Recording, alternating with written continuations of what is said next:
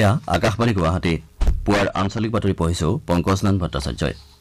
এতিয়া প্ৰধান বাতৰিসমূহ হৈছে নেৰানেপেৰা বৰষুণৰ ফলত ৰাজ্যৰ নৈ উপনৈৰ জলপৃষ্ঠ বৃদ্ধি ন ন অঞ্চল প্লাৱিত ছিগা মথাউৰিয়ে তথ্য প্ৰেৰণৰ বাবে জলসম্পদ বিভাগৰ হোৱাটছএপ নম্বৰ মুকলি। বৰষুণ বান পৰিস্থিতিৰ পৰিপ্ৰেক্ষিতত কামৰূপ মহানগৰকে ধৰি ৰাজ্যৰ কেইবাখনো জিলাৰ শিক্ষানুষ্ঠান আজি বন্ধ ৰখাৰ বাবে প্ৰশাসনৰ পৰামৰ্শ। বান পৰিস্থিতিৰ পৰিপ্ৰেক্ষিতত গুৱাহাটী বিশ্ববিদ্যালয়ৰ আজিৰ পৰা হ'বলগীয়া পৰীক্ষাসমূহ বাতিল। ত্ৰিছ জুনৰ ভিতৰত কাগজ কলৰ কৰ্মচাৰীৰ বাবে পাঁচশ কোটি টকা মুকলি কৰি দিয়া হ'ব বুলি মুখ্যমন্ত্ৰী ডঃ হিমন্ত বিশ্ব শৰ্মাৰ ঘোষণা। আৰু পাঁচদেশীয় প্ৰতিযোগিতাত অংশগ্ৰহণ কৰাৰ উদ্দেশ্যে ভাৰতীয় জুনিয়ৰ মহিলা হকী দলৰ ডাবলিনলৈ ৰাওনা। আকাশবাণী গুৱাহাটীৰ আঞ্চলিক বাতৰি বিভাগে আজাদী কা অমৃত মহোৎসৱ উপলক্ষে আয়োজন কৰা বছৰজোৰা কুইজ প্ৰতিযোগিতাৰ কালিৰ প্ৰশ্নটোৰ শুদ্ধ উত্তৰ দি বিজয়ী হৈছে গোলাঘাট জিলাৰ তেলিয়া সোণাৰী গাঁৱৰ পৰিমণি শৰ্মা। কালিৰ প্ৰশ্নটোৰ শুদ্ধ উত্তৰ হৈছে এম বিশ্বেশ্বৰায়াৰ সোৰণত ভাৰতৰ লগতে শ্ৰীলংকা আৰু তানজানিয়াত প্ৰতি বছৰে পোন্ধৰ ছেপ্টেম্বৰত কাৰ ইঞ্জিনিয়াৰ্ছ ডে অৰ্থাৎ অভিযন্তা দিৱস পালন কৰা হয়। উল্লেখযোগ্য যে প্ৰতি বুধবাৰে ছয় বাজি পঞ্চল্লিছ মিনিটৰ আঞ্চলিক বাতৰিত শ্ৰোতাসকলক এটাকৈ প্ৰশ্ন সোধা হয়। শ্ৰোতাসকলে সেইদিনা নিশাই আঠ বজাৰ পূৰ্বে এছ এম এছ বা হোৱাটছএপ যোগে উত্তৰটো ন সাত এক ছয় ছয় আঠ শূন্য ন ছয় ন নম্বৰলৈ পঠিয়াব পাৰে। নেৰানেপেৰা বৰষুণৰ ফলত ৰাজ্যৰ বিভিন্ন জিলাৰ ভালেমান অঞ্চল বানৰ কবলত পৰিছে। যোৱা সোমবাৰৰ পৰা হৈ থকা বৰষুণৰ ফলত বিভিন্ন নৈ উপনৈৰ জলপৃষ্ঠ বৃদ্ধি পোৱাত বান পৰিস্থিতি ক্ৰমাৎ জটিল হৈ পৰিছে। গুৱাহাটী মহানগৰৰ বেলতলা পথ চিৰিয়াখানা পথ অনিল নগৰ নবীন নগৰকে ধৰি কেইবাটাও স্থানত পানী জমা হৈ থকাৰ ফলত জনসাধাৰণ সমস্যাৰ সন্মুখীন হৈছে। পৰিস্থিতিৰ প্ৰতি লক্ষ্য ৰাখি কামৰূপ মহানগৰ জিলা প্ৰশাসনে আজিও মহানগৰৰ বিদ্যালয় মহাবিদ্যালয়সমূহত পাঠদান বন্ধ ৰখাৰ পৰামৰ্শ আগবঢ়াইছে। ভাৰতীয় বতৰ বিজ্ঞান বিভাগে কাইলৈ পৰ্যন্ত গুৱাহাটী আৰু উপকণ্ঠ অঞ্চলসমূহত বৰষুণ অব্যাহত থাকিব বুলি আগলি বতৰা দিছে। গুৱাহাটীৰ শেহতীয়া বান পৰিস্থিতি সন্দৰ্ভত প্ৰশাসনে গ্ৰহণ কৰা ব্যৱস্থাৰ বিষয়ে গুৱাহাটী পৌৰ নিগমৰ আয়ুক্ত দেৱাশিষ শৰ্মাই এইদৰে কয়। বান পৰিস্থিতিৰ ক্ষেত্ৰত ক'বলগীয়া এইখিনি যে যোৱাকালি আমি যিখিনি গ্ৰাউণ্ড ফ্ল'ৰত যিখিনি মানুহ আবদ্ধ হৈ আছিলে সেই তেওঁলোক সৰহ সংখ্যকে নিজৰ গুৱাহাটীত থকা নিজৰ আত্মীয় স্বজনৰ ঘৰলৈ তেওঁলোক যাব বিচাৰিছিলে। তেওঁলোকক নাৱেৰে সেই জেগাখিনি নবীন নগৰ অনিল নগৰ সেই ঘৰৰ পৰা মেইন ৰোডলৈকে তেওঁলোকক লৈ অনা হৈছিলে। যাব পৰা নাছিলে বা যাৰ কাৰো ঘৰলৈ তেনেকে যাবলগীয়া আত্মীয় স্বজন নাছিলে। তেওঁলোকক আমাৰ ওচৰৰে হিন্দী স্কুলত এটা শিবিৰ পতা হৈছিলে তালৈ তেওঁলোকক স্থানান্তৰ কৰা হৈছিলে। সমান্তৰালভাৱে যিসকল লোক তেওঁলোকে ওপৰ মহললৈ গুচি গৈছিলে বা ওপৰ মহলতে থাকিছিলে তেওঁলোকক লগত ব্যক্তিগতভাৱে আমি গৈ তেওঁলোকৰ লগত কথা পাতোতে গম পাইছিলো যে তেওঁলোকক খাদ্য পানী তথা মমবাতিৰ প্ৰয়োজন সেইখিনি যোগান ধৰা হৈছিল। আমি দেখিলো যে গলিবিলাকত পানী কমিছে কিন্তু মেইন ৰোডত এতিয়াও পানী আছে। সেই তাৰ বাবে অনিল নগৰ নবীন নগৰ আৰু মিনি গাঁৱত হেৰি কৰা হৈছিলে। তেওঁলোকক খাদ্যৰ যোগান ধৰা হৈছিলে পানীৰ যোগান ধৰা হৈছিলে। সেইখিনি স্থানীয় লোকসকলে বেলেগ জেগালৈ যাব বিচাৰিছিলে ঘৰৰ পৰা উলিয়াব নাছিলে আমাৰ লগত যিসকলে যোগাযোগ কৰিছিলে আমি তেওঁলোকক সেইটুকুৰা জেগাৰ পৰা স্থানান্তৰ কৰাৰ ব্যৱস্থা কৰিছিলো। ৰুক্মিণী গাঁৱত এছ ডি আৰ এফৰ এন ডি আৰ এফৰ জৰিয়তে তেওঁলোকক বহুতো অফিচত অহা যোৱা কৰা মানুহ ৰাতিপুৱা তেওঁলোকক লৈ অনা হৈছিলে আৰু তেওঁলোকক ঘৰত উভতাই পেলাই থোৱাগৈ হৈছিলে। আৰু ইয়াত ধৰি লওক আমাৰ ডিষ্ট্ৰিক্ট এডমিনিষ্ট্ৰেশ্যন আৰু ষ্টেট ডিজাষ্টাৰ মেনেজমেণ্টে খুবেই বেছি আগভাগ লৈ তেওঁলোকে গোটেইখিনি কাম এটা টিম হিচাপে মিলি পেলাই পৌৰ নিগমো আছিলে লগত আমি সকলোৱে মিলি এই কামখিনি কৰিছোঁ। মুখ্যমন্ত্ৰী ডঃ হিমন্ত বিশ্ব শৰ্মাই গুৱাহাটীৰ বান পৰিস্থিতি সন্দৰ্ভত সাংবাদিকৰ প্ৰশ্নৰ উত্তৰত কয় যে বৰষুণৰ পৰিমাণ অস্বাভাৱিকভাৱে বৃদ্ধি পোৱাৰ পৰিপ্ৰেক্ষিতত মহানগৰখনৰ বান পৰিস্থিতি কিছু জটিল হৈছে। প্ৰশাসনে যথাসম্ভৱ সকলো ব্যৱস্থা গ্ৰহণ কৰিছে আৰু বৰষুণ হ্ৰাস পোৱাৰ লগে লগে নলাসমূহ পৰিষ্কাৰকৰণৰ কাম পুনৰ আৰম্ভ হ'ব বুলি মুখ্যমন্ত্ৰীয়ে প্ৰকাশ কৰে। ইপিনে ব্ৰহ্মপুত্ৰৰ জলস্তৰ বৃদ্ধি পোৱাৰ লগতে বৰ্ধিত জলস্তৰে সৃষ্টি কৰা ধুঁৱলি কুঁৱলী পৰিৱেশৰ ফলত নিমাতীঘাট আৰু মাজুলীৰ মাজত ফেৰী চলাচলত সৃষ্টি হোৱা অসুবিধাৰ পৰিপ্ৰেক্ষিতত ফেৰী সেৱা বন্ধ কৰি দিয়া হৈছে। বাক্সা জিলাৰ শালবাৰী মহকুমাৰ অন্তৰ্গত কুঠুৰিঝৰত কালি মানহ মানাহ ৰাষ্ট্ৰীয় উদ্যান সংযোগী পথৰ কালভাৰ্ট ছিগি যোৱাৰ ফলত যাতায়াত ব্যাহত হৈ পৰে। কেইবাদিনো ধৰি হৈ থকা বৰষুণৰ ফলত পথটোৰ বিভিন্ন অংশ ছিগি যোৱাৰ বাবে জনসাধাৰণ সমস্যাৰ সন্মুখীন হৈছে। জিলাখনৰ জালাহ ৰাজচক্ৰৰ বিভিন্ন অঞ্চল কালদিয়ানৰ বানৰ কবলত পৰিছে।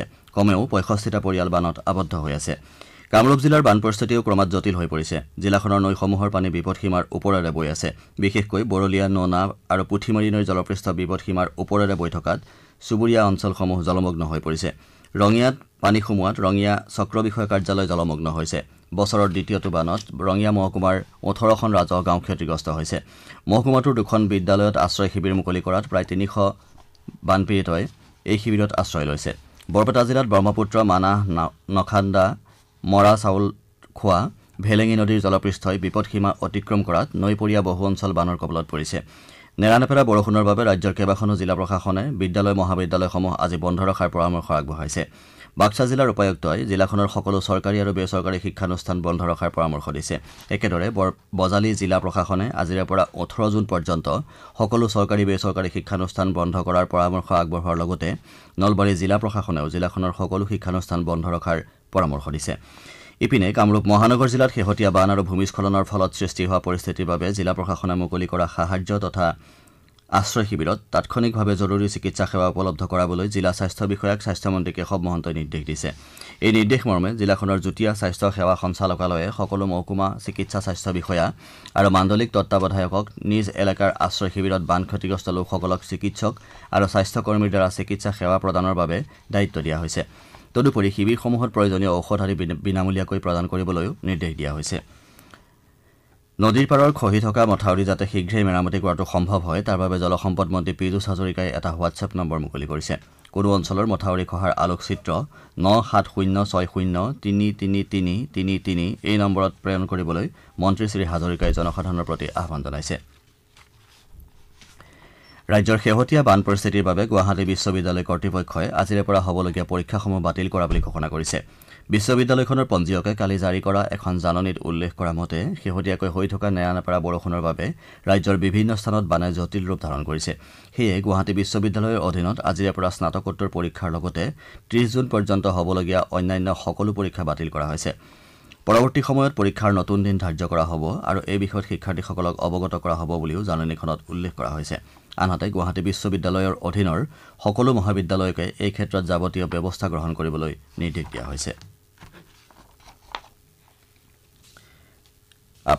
আপোনালোকে বাতৰি শুনিছে আকাশবাণী গুৱাহাটী কেন্দ্ৰৰ পৰা। এই বাতৰি আমাৰ YouTube channel air news Guwahati আৰু নিউজ অন এয়াৰ এপযোগেও শুনিব পাৰিব। চলিত মাহৰ ভিতৰতে নগাঁও আৰু কাছাৰ কাগজ কলৰ কৰ্মচাৰীসকলে তেওঁলোকৰ প্ৰাপ্য ধন লাভ কৰিব। সেই অনুসৰি ত্ৰিছ জুনৰ ভিতৰত কাগজ কল কৰ্মচাৰীৰ বাবে ঘোষণা কৰা পাঁচশ কোটি টকা পেকেজৰ ধন মুকলি কৰি দিয়া হ'ব। ডিফুত অনুষ্ঠিত বিজেপিৰ ৰাজ্যিক কাৰ্যনিৰ্বাহক সমিতিৰ সভাত অংশগ্ৰহণ কৰি কালি মুখ্যমন্ত্ৰী ডঃ হিমন্ত বিশ্ব শৰ্মাই এই কথা ঘোষণা কৰে। তেওঁ কয় যে প্ৰতিজন কৰ্মচাৰীৰ পুনৰীক্ষণ সম্পূৰ্ণ হৈছে আৰু তেওঁলোকৰ প্ৰাপ্য ধন বেংক একাউণ্টলৈ হস্তান্তৰ কৰা হ'ব। অৱশ্যে ত্ৰিছ জুনৰ ভিতৰতে তেওঁলোকে ঘৰ খালী কৰিব লাগিব বুলিও মুখ্যমন্ত্ৰীগৰাকীয়ে প্ৰকাশ কৰে। সভাত ডঃ. শৰ্মাই কয় যে ৰাজ্যৰ আৰ্থ সামাজিক উত্তৰণৰ বাবে কেন্দ্ৰীয় আৰু ৰাজ্য চৰকাৰে গ্ৰহণ কৰা আঁচনিসমূহ অধিক জনমুখী কৰাৰ বাবে দলৰ কাৰ্যনিৰ্বাহক সদস্যসকলে সেৱাৰ মানসিকতাৰে কাম কৰিব লাগিব। ৰাজ্যখন বৰ্তমান উন্নয়নৰ নতুন দিশেৰে ধাৱমান হৈছে বুলি উল্লেখ কৰি তেওঁ কয় যে তৃণমূল পৰ্যায়লৈ আঁচনিসমূহ লৈ যোৱাৰ বাবে আন্তৰিকতাৰে কাম কৰি এই উন্নয়নক আগুৱাই নিব লাগিব। কাৰ্বি আংলং স্বায়ত্তশাসিত পৰিষদৰ আটাইকেইখন আসন লাভ কৰাৰ বাবে বিজেপিৰ নেতাকৰ্মীসকলক অভিনন্দন জনাই মুখ্যমন্ত্ৰীয়ে কয় যে এই জয়ে দলৰ দায়িত্ব বৃদ্ধি কৰিলে। তেওঁ কয় যে ধান ক্ৰয় আঁচনি অৰুণোদয় বসুন্ধৰা আদিকে ধৰি বিভিন্ন ধ্বজাবাহী আঁচনিৰ জৰিয়তে ৰাজ্য চৰকাৰে সাফল্য লাভ কৰিছে। শেহতীয়াকৈ ৰাজ্যত অনুষ্ঠিত নিৰ্বাচনত দলে লাভ কৰা সাফল্যৰ ধাৰাবাহিকতা অক্ষুণ্ণ ৰখাৰ বাবে দিনে নিশাই কাম কৰিবলৈ কাৰ্যনিৰ্বাহক সদস্যসকলক তেওঁ আহ্বান জনায়। কেন্দ্ৰীয় চৰকাৰে কালি ঘোষণা কৰা অগ্নিপথ আঁচনিৰ অধীনত চাৰি বছৰৰ বাবে সশস্ত্ৰ বাহিনীত নিযুক্তি লাভ কৰা যুৱক যুৱতীসকলক অসম আৰক্ষীত নিযুক্তিৰ ক্ষেত্ৰত অগ্ৰাধিকাৰ দিয়া হ'ব বুলি মুখ্যমন্ত্ৰী ডঃ হিমন্ত বিশ্ব শৰ্মাই ঘোষণা কৰিছে।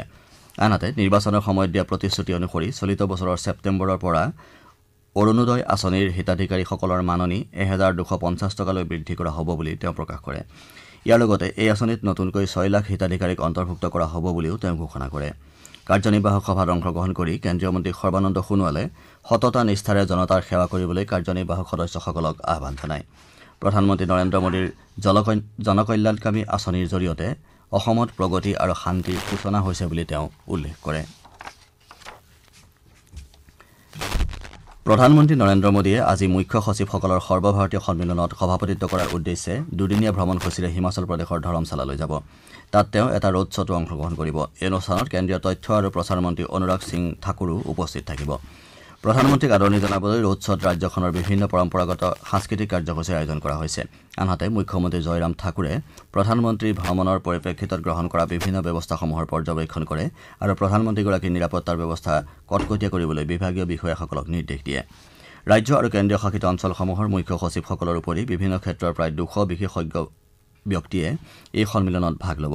নতুন শিক্ষানীতি ৰূপায়ণ নগৰাঞ্চলৰ শাসন ব্যৱস্থা শস্য বিবিধতা কৃষি উৎপাদনত আত্মনিৰ্ভৰশীলতা আদি বিভিন্ন বিষয়ে এই সন্মিলনত আলোচনা কৰা হ'ব।